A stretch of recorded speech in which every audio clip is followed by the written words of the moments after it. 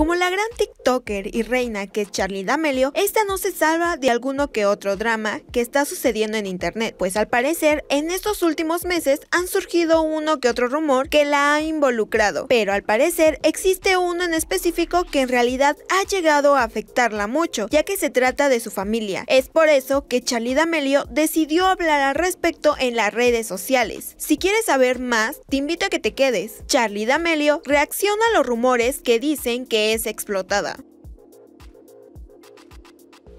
Como sabemos, Charlie D'Amelio es una de las grandes creadoras de contenido que son más seguidas de todo el mundo de la plataforma de TikTok. Y es que ya cuenta con más de 106 millones de fanáticos en la aplicación de videos. Gracias a ser muy conocida, para nada es una sorpresa que se digan cosas de ella. Es así que ha tenido que acostumbrarse a que hasta diarios hablen de ella y que la critiquen duramente, que van desde su forma de ser, la forma en la que baila, por su apariencia y hasta por su relación. Al parecer no existe ningún aspecto de su vida que la gente no critique y ella al parecer está bien con todo este drama. Sin embargo, existe en este momento un gran rumor que realmente le está causando mucho dolor. Es por eso que ella ha decidido romper el silencio y dar su opinión al respecto, pues esta especulación le resulta a todos sus seguidores algo inquietante. Y es que este rumor que circula en este momento en las redes sociales dicen que Charlie no se encuentra para nada nada contenta en ser un influencer y que sus padres, o más bien su propio papá, le está obligando a publicar videos en la plataforma de TikTok para que se mantenga al día y así lograr el gran estilo de vida que llevan. Al parecer muchas personas aseguran que más que nada es el padre de Charlie y Dixie quien está detrás de ellas manejándolas y de su fama al grado que exista una obligación de trabajar aunque ellas no quieran hacerlo o no estén de humor. Todo con la sorprendente intención de que para nada bajen sus números y de que así no pierda dinero. Esto se ha hecho tan fuerte que Charlie tuvo que salir a hablar al respecto de los rumores que se escuchan. Esto fue a través de algunos comentarios que publicó en su cuenta de TikTok el 18 de enero. La TikToker dejó muy en claro que para nada es cierto lo que andan diciendo y que no entiende de dónde es que las personas sacan tanta información mala, así que al respecto dijo,